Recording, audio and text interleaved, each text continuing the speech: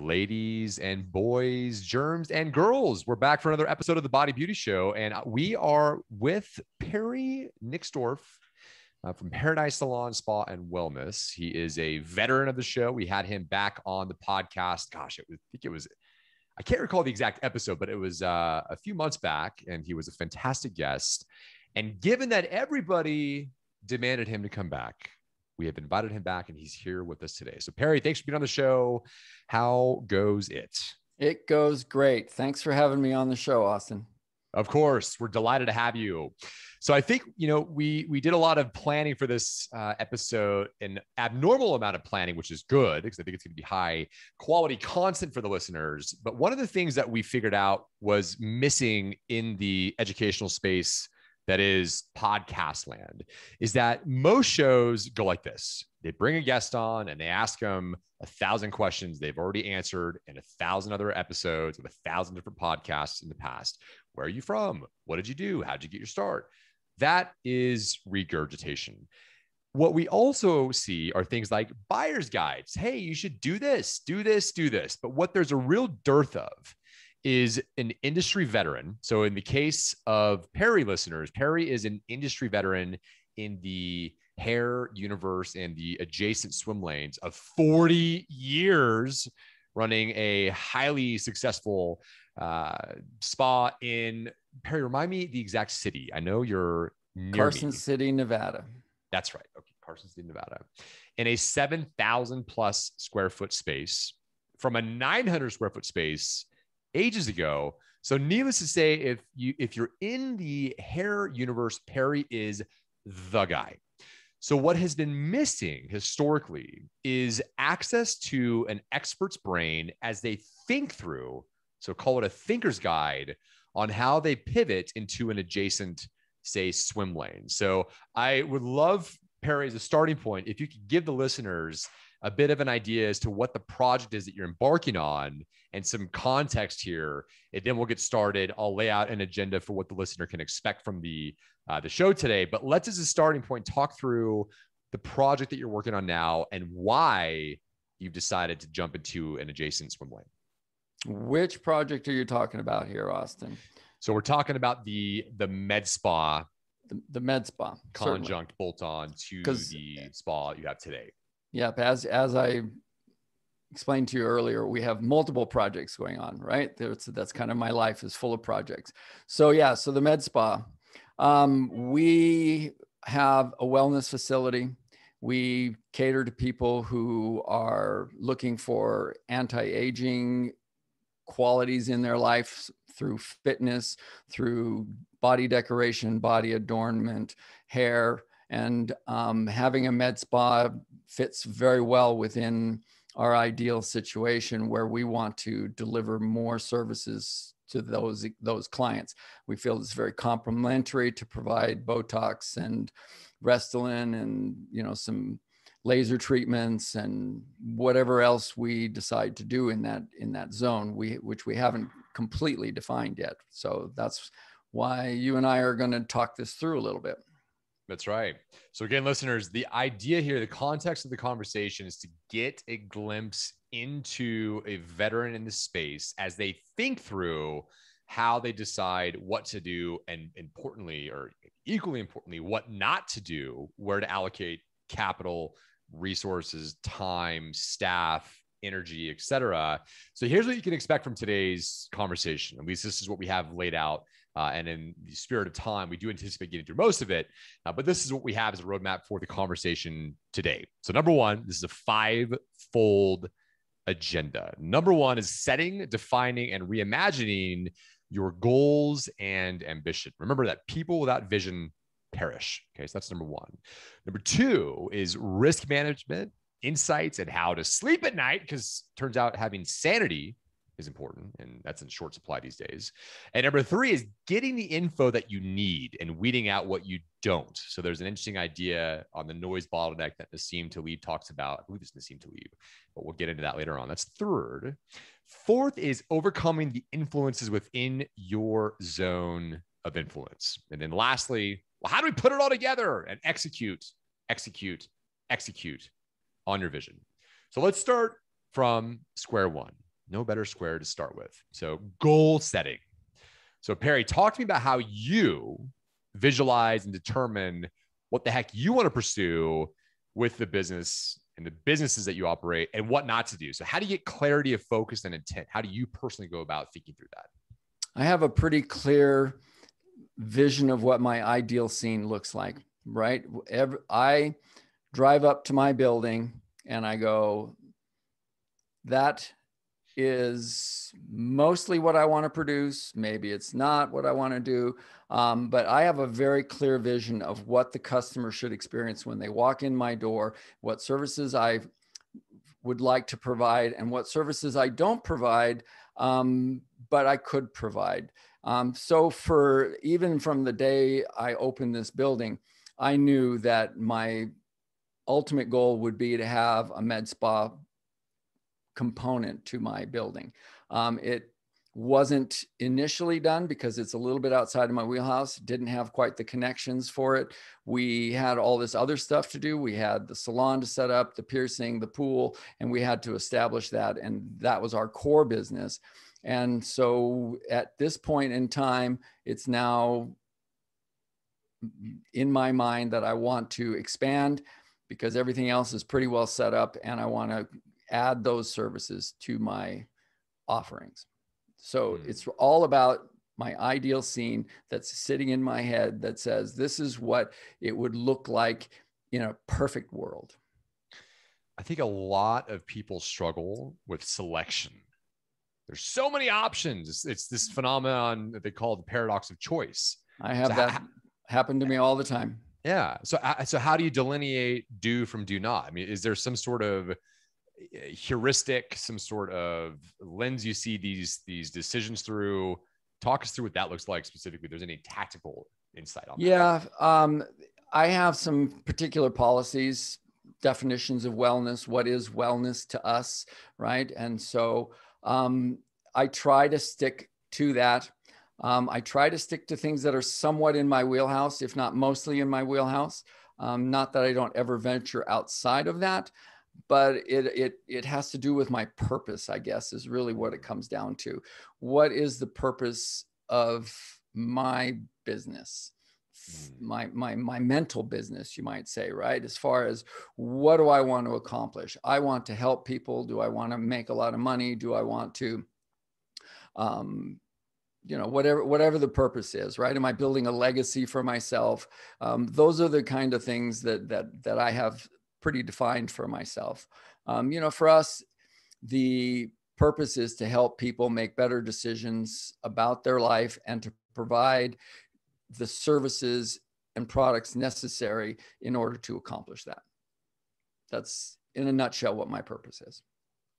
So my goals and my ideal scenes and all that stuff wraps up around that. So when you, when you say ideal scene, I'm assuming there's some literal visual component to that. So you walk into your your spa five years down the line. Are you are you literally seeing what that looks like, or maybe you could speak to what the ideal scene means to you and how you've you've drummed that up? Well, the ideal scene is an unaccomplishable vision of what your business should look like. Okay. That's ultimately, yes, the ideal scene. Part of the ideal scene is what does the physical space look like? What kind of employees do I, should I have? How should those employees um, behave and greet during the course of the day? What's, what's happening? So we have a term here called the paradise effect. When we do our job as close to our, my ideal scene as we can, people have a visceral reaction to us, which is very, very positive. They can't get enough of what we deliver. They come through and they get a service. They're back the next day getting something else. They're exploring the building. They want a tour. They just, they, they just feel really good about us and our ability to help them choose some services to accomplish their goals but we we call that the paradise effect. I actually created a challenge coin that had a paradise effect on it as part of the the logo. Um, anyway so that's what it's that's what it feels like. When we do our job right the paradise effect is in full bloom in a person's mind. Interesting. I think one thing that listeners fail to consider is in goal selection, let's say, which at some point you just have to select what is my ideal scene? What does that look like? Uh, and th- there's this idea from Good to Great from Jim Collins of the the BHAG, which is the big, hairy, audacious goal, something that is just it just seems like it's unattainable, but you know that if you put your mind to it, you can make it happen. And so what we do oftentimes we set these goals that are not BHAG. They're too they're too attainable. They're too easy to reach because you don't want to fail. Yeah, so I, I, call those ta- I call those targets. They're not goals. They're targets. A very big difference in those.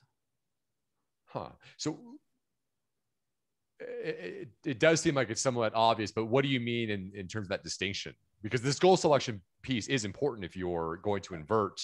Yes. You know, in mind, select the right ideal scene. So how do you think of target versus goal then in that context? Well, the, the goal is to accomplish your ideal scene. All right. Targets are larger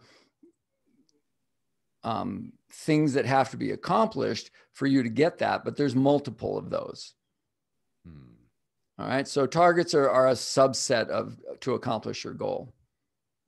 And for that, you have to have a plan, right? So, the, so once you have this ideal scene, then your your mind starts to form a plan, and from that plan, you develop targets. So for me, my ideal scene is to have a med spa component in my building. So the plan is okay, in order to do that, we need to carve out a piece of space that, that we have and make that space part of that. So that's one target is to create the legit the physical space possible for that. Can I do that? What do I need to do that? That kind of stuff, right? Another target is you have to develop you have to um, have the right manage management because I can't do all of this myself. So I need to have a competent management person. So, how do you go about getting that person? We have to have competent delivery people along with the products necessary. And we have to, and that delivery person will have certain skill sets, which will then define what services we can offer. So, if I could find a competent delivery person that's been in the industry and knows this a little bit, then my selection of services will be a little bit larger. If I'm finding somebody new and I have to train them, um, my delivery selection will be a little bit smaller at first as we grow and um, develop that person's skill sets. So these are each one of those is a target, but they're they ultimately fit into the ideal scene. Hmm. So it's fair to say that everything, every course of action you take, every decision you make, every staff you hire or person you hire, every tool you implement, and everything in between is subservient to the attainment of the ideal scene. Yes. Beautiful. Beautiful. Beautiful.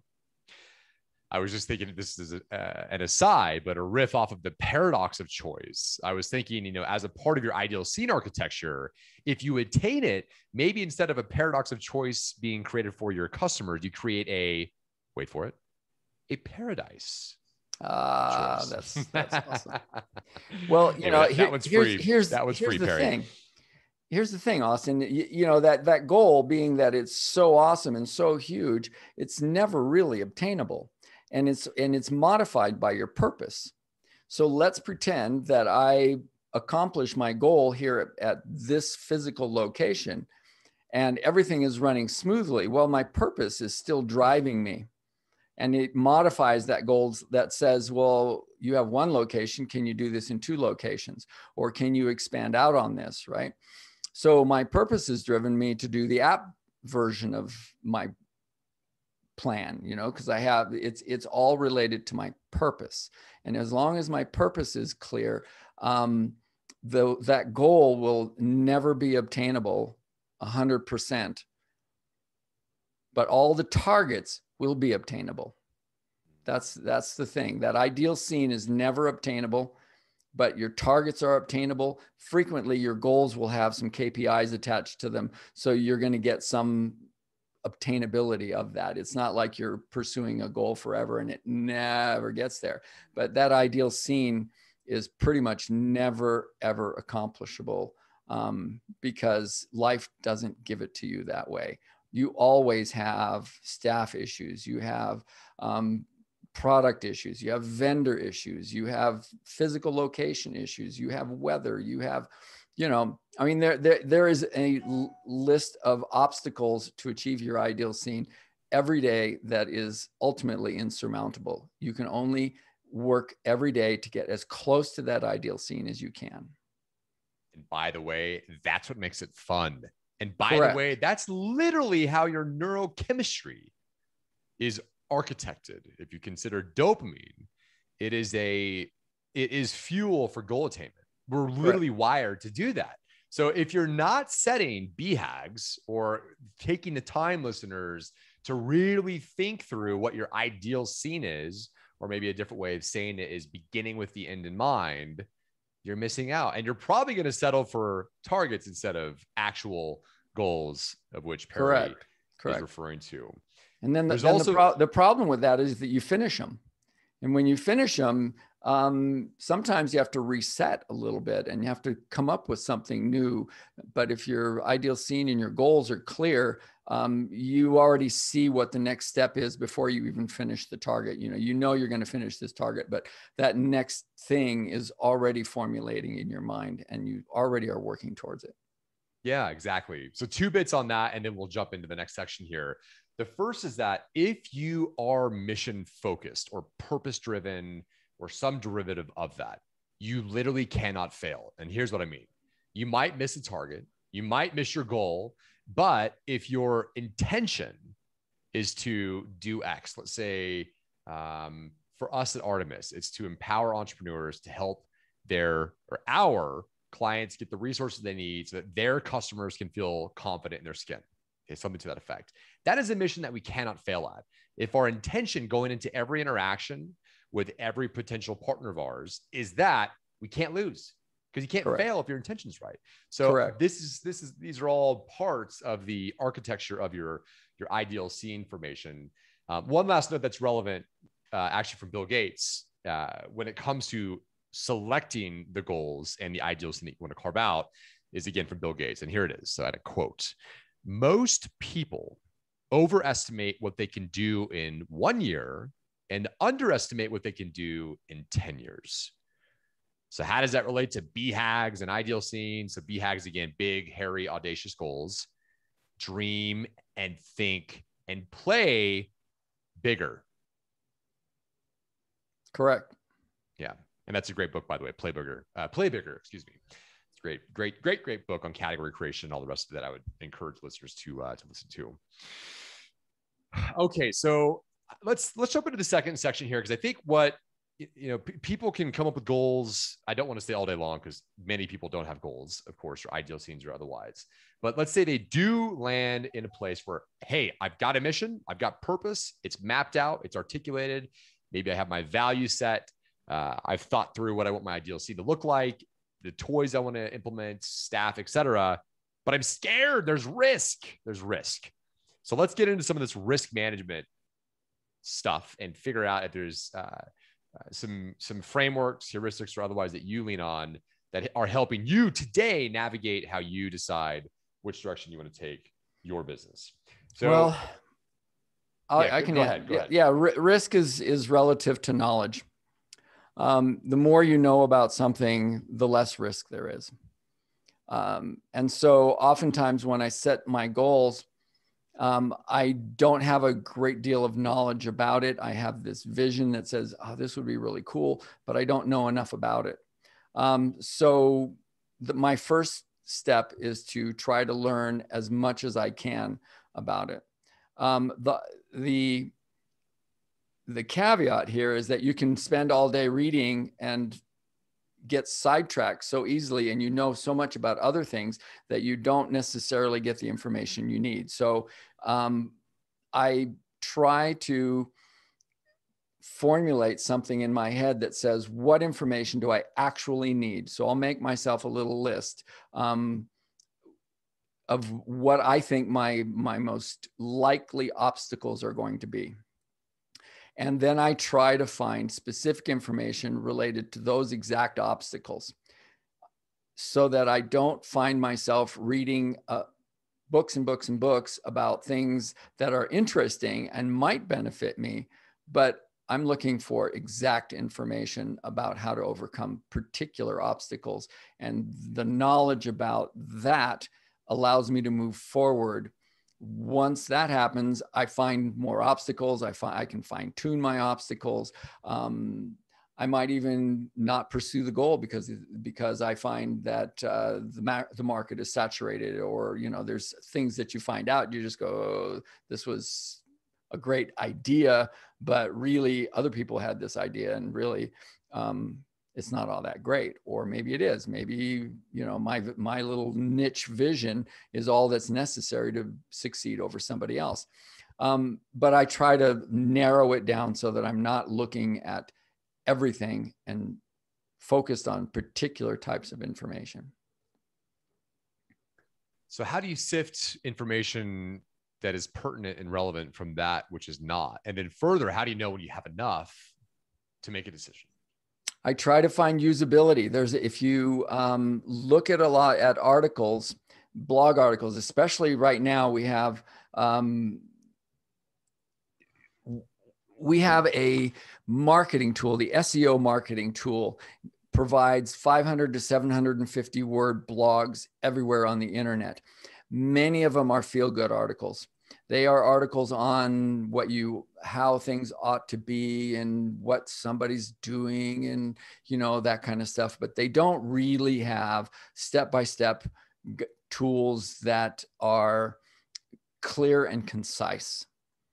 So it's hard to sift through that sometimes, but once in a while you find um, a particular author that writes some things that are a lot more focused. Sometimes they want you to pay for it because they know what's out there and um, what's not out there. You know, so there's people who are making a living at that.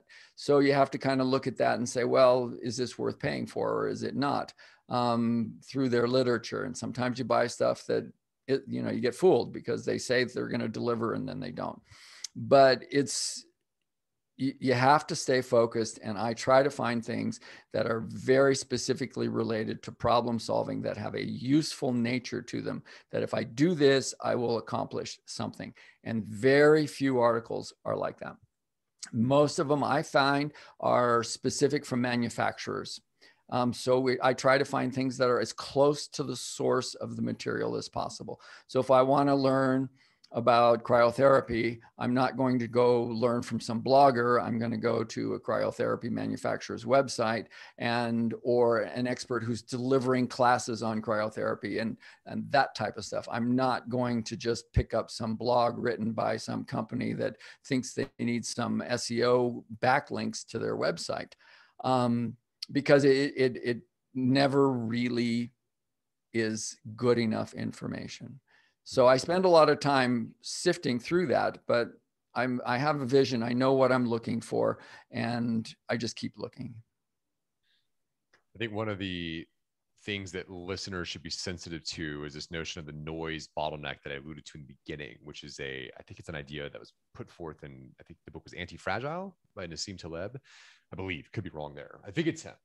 But it's this idea that when when you take in more information, if there are two poles on a spectrum, noise and signal, signal is truth, signal is what you need to hear and know, et cetera. And noise is, you know, the bloggers you mentioned who are, uh, there's some sort of incentive structure that's misaligned with what you need, let's say, and they're giving you bad information, you end up getting duped. So the noise bottleneck is this idea that you, you know, if you take in more data, info, you're subjecting yourself potentially to increasing the bandwidth of noise and reducing the amount of signal that you're getting, which can actually lead to worse decisions. So, what, what are you sniffing out as you figure out, okay, well, this source of information is just demonstrably terrible, run from it. These guys are great, run to it. You mentioned the manufacturers as being a good go to, but are there things that you pick up, like reading an article literature or something and you realize, oh my God, this is obviously, this is danger. Get out of this water, jump over here. This is my trusted advisor type source. Yeah. How do you think about that? Yeah, I look at I look at statistics. Um, I try to find real numbers. Um, I often use like Google Scholar instead of, um, you know, Google News. Um, you know, trying to find, you know, so, where people have studied stuff and they've filtered it down. Um, I try to look at the, you know, some of the 10 best things, you know, as, as a starting point. Uh, everybody wants to give you a little list of the 10 best things, right? Um, so I kind of look at that as a starting point and then I sort of dig in and, um, and then I start to think, well, how is this going to directly help me resolve this particular problem? And then if it doesn't, I move on and I find something else. It's very, very well, it's not really clear in my head because there's all this noise, right? And I have the day to day noise of everything else I do as well.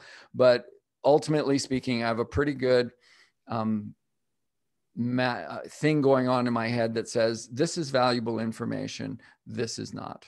Um, and oftentimes I tend to gravitate to people who have written books um, because when they've written a book, they have taken the time to really filter their own thoughts into something that's succinct and delivered in a way that um, I can digest.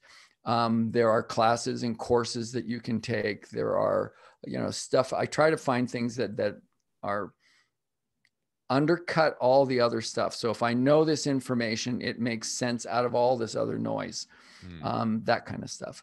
Um, so, you know, in this case, you know, we're, we're, we're looking at the medical spa. So for me, my biggest obstacle is um, finding a lawyer to create a, um, a contract with a doctor that I found.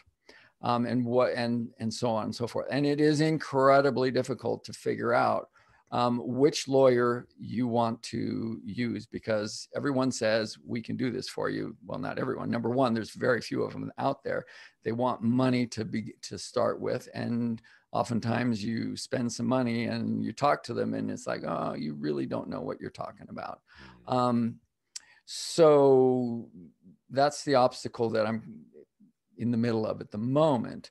Um, so finding the right lawyer and finding the right legal stuff, and you'd be surprised. I, I go to the NRSs, right, the Nevada Revised Statute, and I look at the laws themselves, and I try not to read what somebody wrote about the laws, hmm. um, because that's much more valuable information to me, right?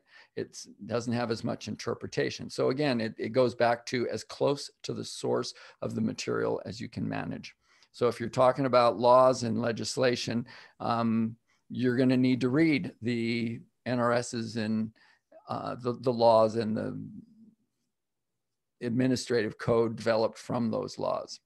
So that when I talk to a lawyer, I'm fairly certain about what he's talking about or what he's not talking about is valid or is he's trying to tell me something that may or may not be um, pertinent to what I'm encountering. I think I just plucked out the, the if there's any one takeaway, listeners, that you could grab from this conversation, uh, and we are getting the hook on time. So I want to leave you guys with at least one highly actionable takeaway that actually Perry just taught me, uh, which is thank you for that, by the way, which is this. And, and if I mischaracterize this, do uh, check me and, and, and reiterate what you've just said. But if I've caught it, I think it's this. The listeners pay attention because this is this is more profound than you might think. Okay. When it comes to getting, I'm using the term signal and noise, signal again is truth or the reality or facts or whatever versus noise, which is just clamoring static on the FM dial switch that you want to get away from because that clouds your decision making possibility or potential for accurate outcomes, et cetera, and exposes you to more risk if you don't do that. What you need to do, and this is where I need your help, Perry, to make sure I've got this codified. Get as close to the source of, say, truth as possible. So here's what I mean by that specifically. I think of articles put forth by, I don't care, pick your favorite publication, CNN, Fox News, whatever.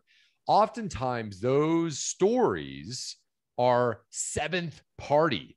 They originally stem from a small town blogger where he was close to the truth and then there's this diluting that happens as the the story funnels up chain let's call it and so by the time it's broadcast on the national airwaves it's diluted and it's noise and it's and it's sensationalized. Yes, exactly.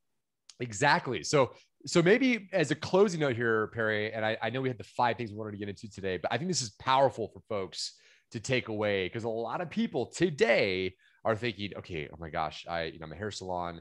I got to get into the spa realm or I'm a spa. I need to get into the med spa realm. So maybe I'm looking at Botox, Kybella, Sculptra, different retail products, whatever. How do I decide? And I think it's that proximity to the source that is the single greatest determinant of are you getting accurate information that you can make your decisions on that will mitigate your risk. Correct. Is that close? That is as, that that is close. That is that is what I'm about. Yeah, and it also helps you filter out the negativity that's in your life, um, because if you have a great vision and you discuss it with people, most people will give you a negative response. There is, or they'll give you kind of a like, oh yeah, well that's nice, right? But Negativity people, bias, yeah, right? You know, you get the oh yeah, that's great, looks good, you know. But what you what there's a lot of people that are going to say you you're crazy. Why would you want to do that? For instance we went from 900 square feet to 7000 square feet. My own mind is going oh my god are you crazy? But other people are saying that to me too oh my god why would you want to take on such risk? Um, and you have to if you're if you're not armed with the knowledge you can turn away the negativity pretty easily. Because you can say well that person doesn't know what i know and I know more than that person. So that person's coming from an, a space that doesn't have as much validity in their knowledge as I do. Right. So that's what makes the great entrepreneurs. They can filter that out. They can look at people and say, well, thank you very much, but you're not, not as knowledgeable. Um, you know, I had a lady this week she came in. We have a competitor here that does cryotherapy and does massage and um, does some things, but they're not a med spa, right? But they do some of those things. Um, and she had a great experience there. And she came to me and says, You should do this. And you know, and she's trying to give me all these reasons why I should take on this particular business because she liked the services, but she felt they were being delivered by unprofessional people, children, blah, blah, blah.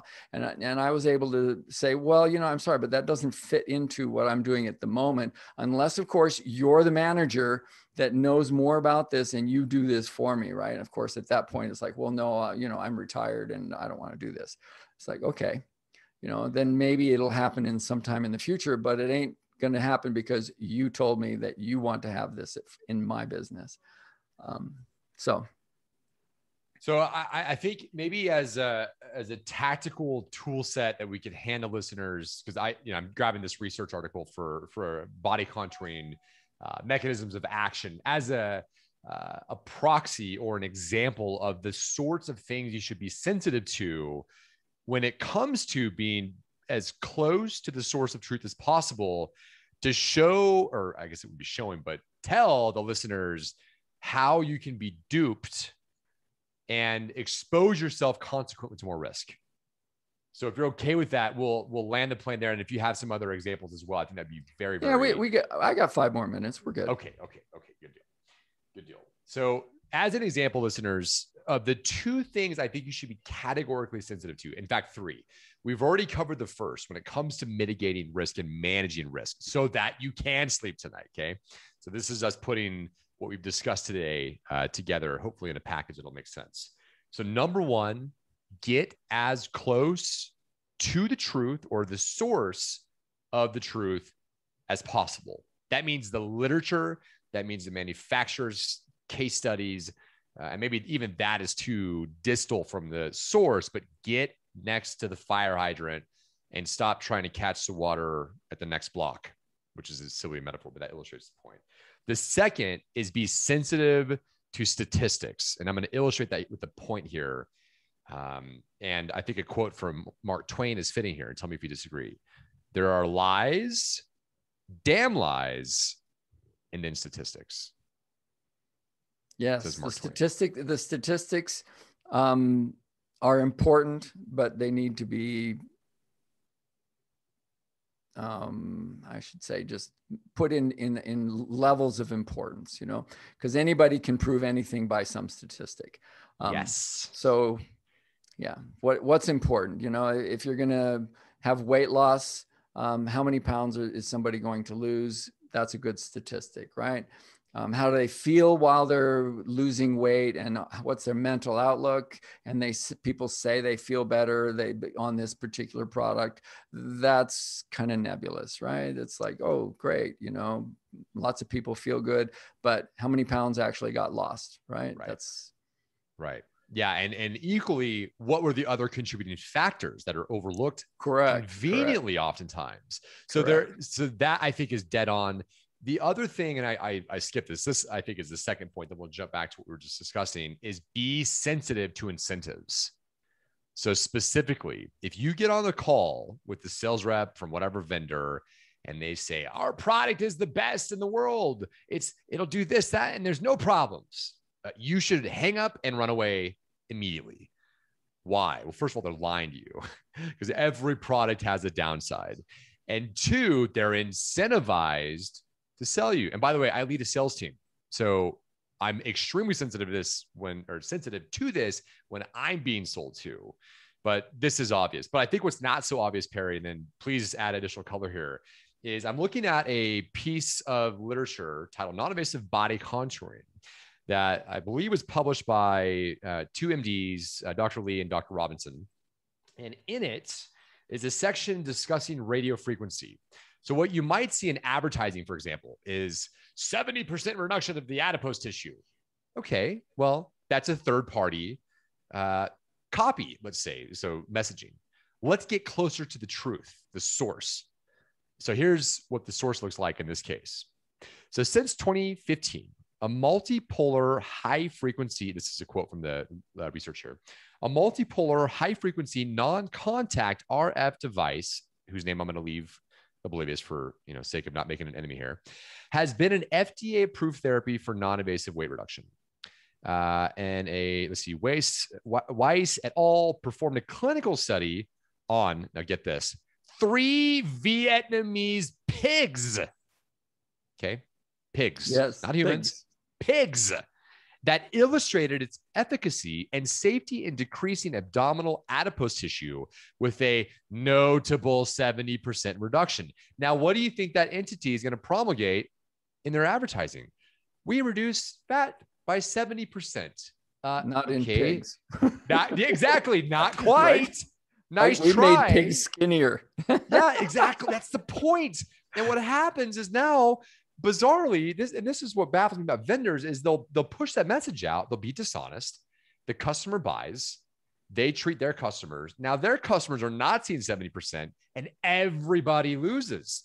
So this is why, and Perry, I don't think you realize this, but what you just told me, I don't, I can't believe I missed this. Getting close to the source is literally the antidote to information harvesting to make intelligent decisions to mitigate risk. Yes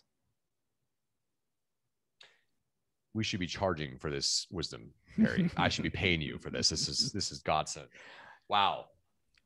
Well, so, you know, here, here's what scares people. Okay, people are scared by nomenclature. People are scared because they need to hire a lawyer to interpret the laws that are written in the revised statutes.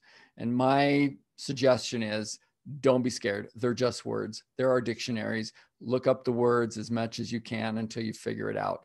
Um, you don't need to be intimidated by words. Okay. There's there's this lovely little thing. It's it's a new technology. I don't know if many people have heard of it. Uh, called Google.com. Right? Yes. for answers and definitions. And, and it and it has a dictionary attached to it. Right click, look up. It's yep. really simple. Okay. You don't even have to have a dictionary at hand. Just yep. right click, click. That's it. Exactly. Exactly. Well, Perry, look, you're you're a busy man. You're running a, a massive spa. You've got a thousand things on the plate. And uh, you know, I want to be sensitive to time. Is there any closing notes that you would leave the listener with to further color what we've discussed? Maybe a point that we missed that's worth sharing, a message you would leave them with before I leave them with how to connect with you on the other side of that pursue you pursue your dreams and execute because that's the thing we didn't cover right? Once you've gathered all your knowledge once you've decided that you're going to go down this direction and that there's no significant threat to you that that you can't overcome execute. Plan set targets set smaller things so that you can accomplish things daily or weekly so that you know because if you're going to have a large goal it might take a while to get there. And you might be a little discouraged if you don't get to your goal so make sure you set smaller little targets um, so that you can accomplish things right? Break it down a little bit so that at the end of the day you can go yes i'm that much closer to it. But above all every day execute on your vision Beautifully put. I'm gonna I'm gonna put that in a sentence because listeners, I have bad news for you. There's no 12 step program to execute. It's one step, and here it is: do. Okay. So what Perry just said, in case you missed it, is you've got to decide, then do. There's your 12 step program. There it is. Do. That's that's it in a nutshell. Well, this has been awesome, Perry. Thank you so much for joining us. Um, I, I, think the, the the really big takeaway today, you know, three things: decide what is your ideal scene, figure out what that looks like, take the time up front to measure twice, three times, and really think through what that in state looks like, the ideal scene, and the goals that are surrounding that, and accept that you're going to have targets that you may or may not miss. If you're doing then you'll probably hit those targets. And when it comes to mitigating risk, get up near the edge of the seat of the source, let's say, and ignore third party, fourth party, seventh party bloggers that are incentivized to dupe you. Get up close to the truth. And lastly, do the work. I'm sorry, there's no magic pill secret formula, no. uh, and, fat and loss pill. You got to and that takes courage. That's that, that the key to that is courage. You have to have courage to do this. You have to be able to say, "What if I fail?" Well, okay, I'm going to fail, and you and you fail. Okay. Next. And right, exactly. And I failed. Right? What? Sorry, that's that's called right? a seminar right okay you know yeah. what, what what did what did i learn from that now let me move forward if your purpose is strong and your ideal scene is good it doesn't matter how many times you fail because all that means is you've just gone down the wrong path and you learned something and you need to execute on a different path but you will get there as long as you keep executing and keep working towards it listeners, I have bad news for you. Perry is no longer accepting coaching clients. He's too damn busy. But uh, if you can catch him I'll leave him or invite Perry to share with you guys uh, and, and, gals how to connect with him. Uh, so, so Perry, how can the listeners get in touch? And we'll close on that note. You can contact me through paradise salon spa wellness.com. That is who I am and where you can contact me at paradise salon spa wellness.com. Amazing. Perry, thanks for joining us today. And uh, I hope we can do it again soon. Sounds great to me, Austin. Thank you very much for having me today. Appreciate that. Of course. Take care. Bye bye.